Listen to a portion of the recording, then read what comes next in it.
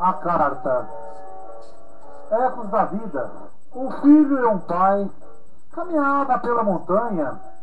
De repente o menino cai, se machuca e grita: Ai! Para sua surpresa, escuta sua voz se repetindo em algum lugar da montanha: Ai! Curioso, o menino pergunta: Quem é você? E recebe como resposta: Quem é você? Contrariado grita: Seu covarde! E a resposta, como resposta: Seu covarde! O menino olha para o pai e pergunta, aflito: O que é isso? E o pai sorri e fala: Meu filho, presta atenção. Então o pai grita em direção à montanha: Eu admiro você! E a voz responde: Eu admiro você! De novo o homem grita e a voz responde: Eu admiro você! Você é um campeão! E o seu pai explica. O pessoal chama isso eco, mas na verdade isso é a vida.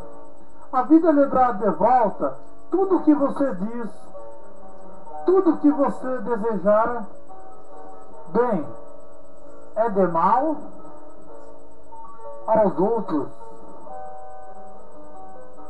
A vida lhe devolverá tudo a blasfêmia, inveja, incompreensão, falta de honestidade que você desejou, praguejou as pessoas que lhe cercam, como por exemplo, o que muitos pais dizem a seus filhos: você não vai ser nada nesta vida. O poder da palavra do pai sobre o filho é muito grande. Repare a sua volta, muitos fazem isso. Nossa vida é simplesmente um reflexo das nossas ações.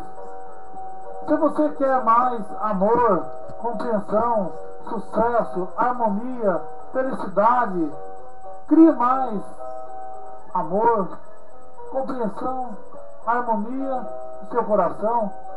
Se agir assim, a vida lhe dará felicidade, sucesso, amor das pessoas que lhe cercam. Reflita, é melhor sua vida enquanto há tempo. Crie bons ecos em sua voz e crie bons ecos em sua vida. E à sua volta, fale somente palavras que tragam vida, que tragam amor, que tragam bondade, que tragam prosperidade.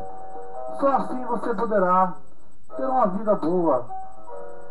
Tudo que você planta, no futuro você vai colher a sua plantação. Tudo que você semeia, você colhe. Pode demorar alguns anos, mas a sua colheita vai vir.